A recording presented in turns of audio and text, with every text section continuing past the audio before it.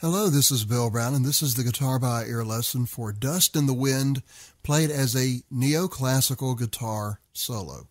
The song was originally recorded by Kansas in the 70s. This particular arrangement is by Jorge Noya, and I did add some things into it that I felt were missing off of the original that I felt would be great to put in. So I've added a little bit to his arrangement as well. So what I'd like to do first of all is play through it for you, and that will give you the reference recording you need to listen to and practice with. Then after that, I will start teaching you the song. So here is Dust in the Wind.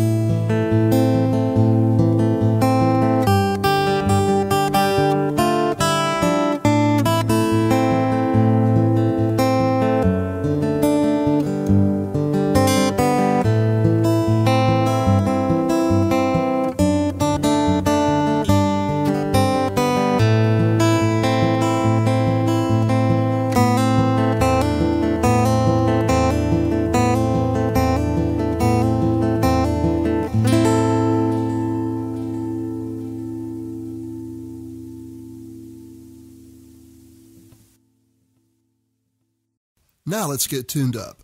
Here is my first string.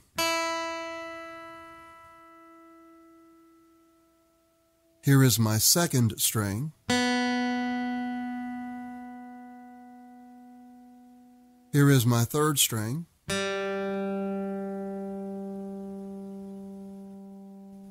Here is my fourth string.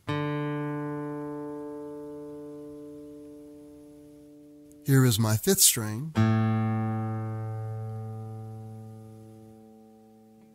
And here is my sixth string.